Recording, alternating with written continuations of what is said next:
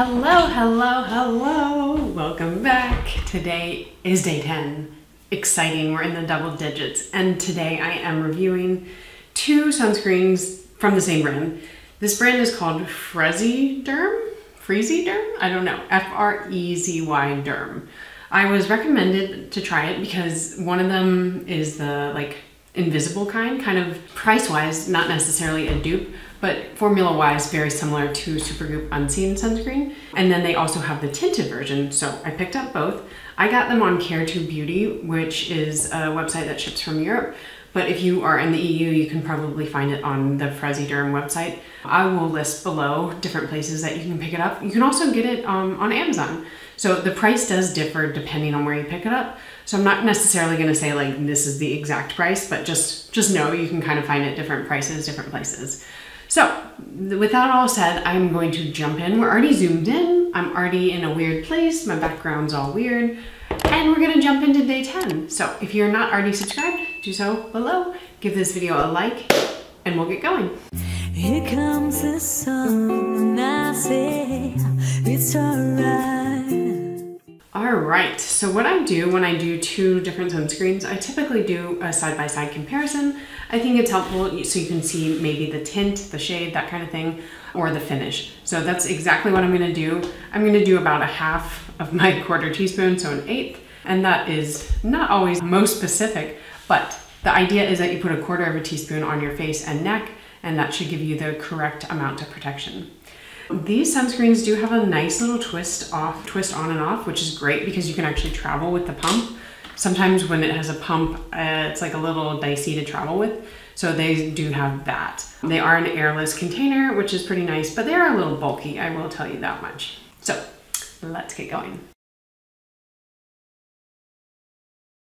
All right, so this is the Sunscreen Velvet Face SPF 50 Plus. This is supposed to be an innovative, transparent sun protection face cream with a unique cosmetic behavior that spreads evenly with one touch. Its unique formula leaves a velvety feel on the skin, offers a matte appearance for six hours, absorbing sebum and softening the appearance of wrinkles. Its clear, non-oily texture leaves no white tint and makes excellent makeup foundation. So like they say, it has a velvet feel, matte finish, and it also has no white tint and is water resistant. I'm not sure if it says how long it's water resistant, but I think it's probably about 40 minutes if I am correct. It has no scent. It's actually made in Greece, which is really interesting. I don't think I've ever had another Greek sunscreen, so that's cool, kind of cool. As far as your filters, it is mostly a chemical sunscreen, but it does have titanium dioxide. So if you don't like titanium dioxide, I know some people can be sensitive to it. This one does have it. You also get 50 milliliters or 1.7 fluid ounces.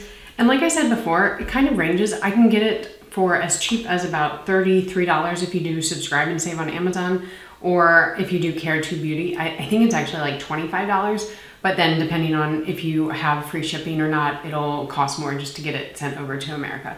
But they both come in the same amount for the same price.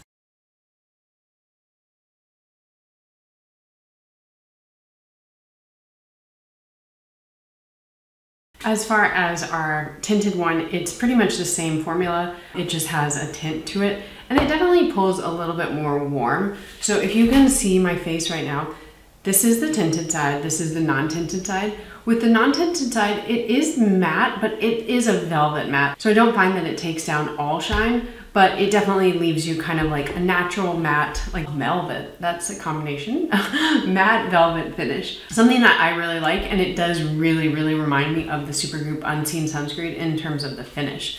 On the tinted side though, I do feel that it looks a bit more matte. It kind of feels a bit more matte. But like I said, it definitely pulls pretty warm. So if you do have more cool undertones or you're just like fair toned, this might be a little too much unless you are going for that kind of bronze look. For me in the summertime, this works really well and it can double as makeup and I actually kind of like it as makeup because if I know I'm gonna have a really hot, humid day and I don't want to put on makeup, but I need sun protection, this gives me SPF 50 with a look of makeup, a matte finish, and it just kind of wears well throughout the day. So what it kind of comes down to is what you're looking for if you want something that's invisible or if you want something tinted. Um, I do think that, like I said, the finish does change a little bit depending on the type, but it's not so, so drastic where one side is super glowing, one side is ultra matte. It's just a little bit of a noticeable difference. The thing about when you have like a more matte sunscreen, it does definitely feel like it kind of blurs imperfections, fine lines, wrinkles, that type of thing. Um, especially on the side that's tinted, I feel like my forehead wrinkles just look a little bit better, a little bit smoother. But I would caution you because I didn't pull it all the way down my neck. I'm just testing it out for you guys today. But you can see a pretty noticeable like line of demarcation on my neck and my chin.